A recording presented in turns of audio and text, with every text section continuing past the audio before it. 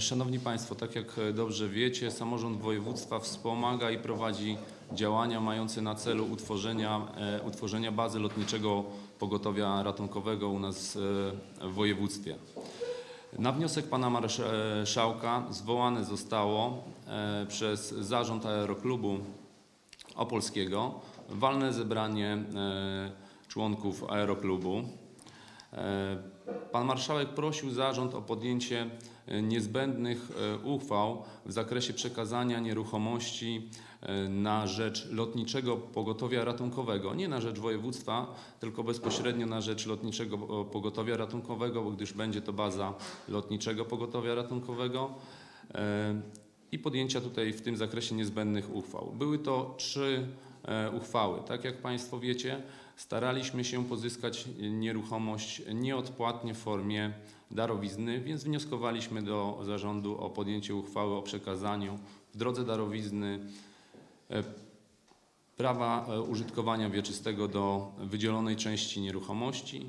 E, Kolejną uchwałą była uchwała o zgodę na podział, bo tam jest wielka 93-hektarowa działka oraz ustanowienie służebności drogi, e, żebyśmy mogli do tej bazy e, dojechać. O efektach e, e, tego spotkania e, pozwolę e, licie Państwo, że e, o- powie Państwu Pan Prezes Aeroklubu.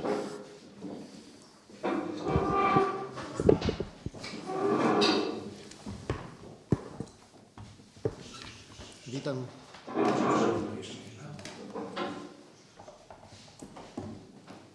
Witam Państwa bardzo serdecznie. Jestem prezesem Aeroklubu Opolskiego, Tomasz Radoszewski. E, Tak jak mój przedmówca tutaj wspomniał, wczoraj odbyło się walne zgromadzenie. Było to nadzwyczajne walne zgromadzenie.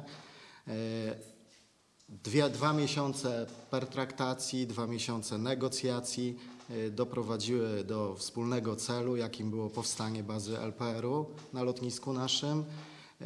Jedno, prawie jednogłośnie walne zgromadzenie przychyliło się do prośby pana marszałka, także baza lotnicza y, pogotowia ratunkowego powstanie na terenie Aeroklubu Opolskiego.